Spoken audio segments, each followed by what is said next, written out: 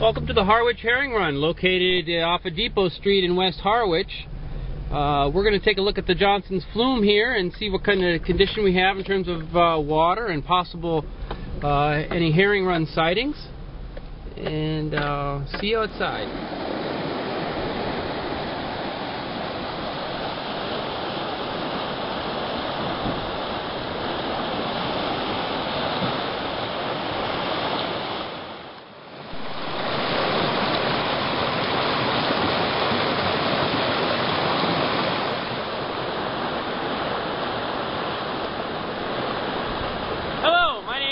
I'm the Harwich Natural Resources Officer. Today I'm at the herring run located in West Harwich off of Depot Street. It's mid-April and uh, we're soon anticipating the, the ladder here to be teeming with river herring.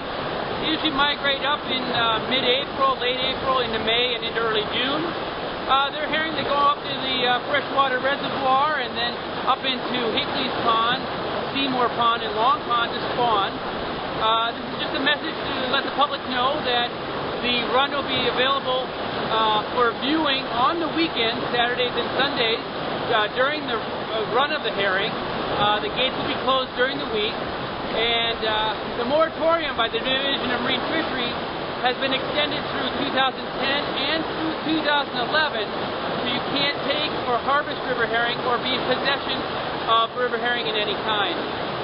So enjoy the run and hopefully we'll have a great season.